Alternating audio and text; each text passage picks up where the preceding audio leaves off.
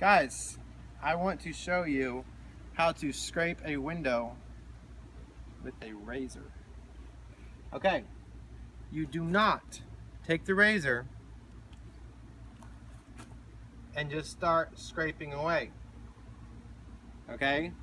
Before you touch a window with a razor blade, you need to tell the customer that there is the possibility that it can scratch the window. Some windows, the way that they're made or whatever, they may have imperfections in them. So when you're scraping them, they might start causing scratches, okay? Um, might not have told this person that it can scrape the window. They can scrape, you know, scratch it, but just let you guys know. So, you get it wet with soapy water, okay? And there's like these little black things on here. Can you guys see that in the video? You show them the little black specks. Now look what happens when I do it with a squeegee. The black specks, see that? There's still black specks. So what you need to do is you need a razor, a, a razor, okay? You need to charge, it's a good idea for you to charge more if you do this for the customer.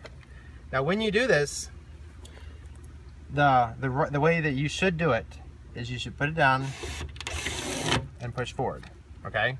You need to have a clean razor. You understand?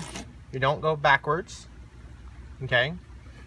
You don't hack at it. You push forward, okay? So, just so you guys know, see like there's some paint right there? Right there? Okay. Guys, you need to be careful with razors.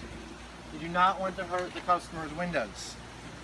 If your razor is getting old, you might want to consider replacing it with another razor blade.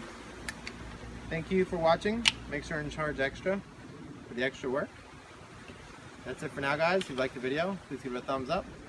Please, uh, if you have a better way to do it, put it in the comments below. Thank you. Take care.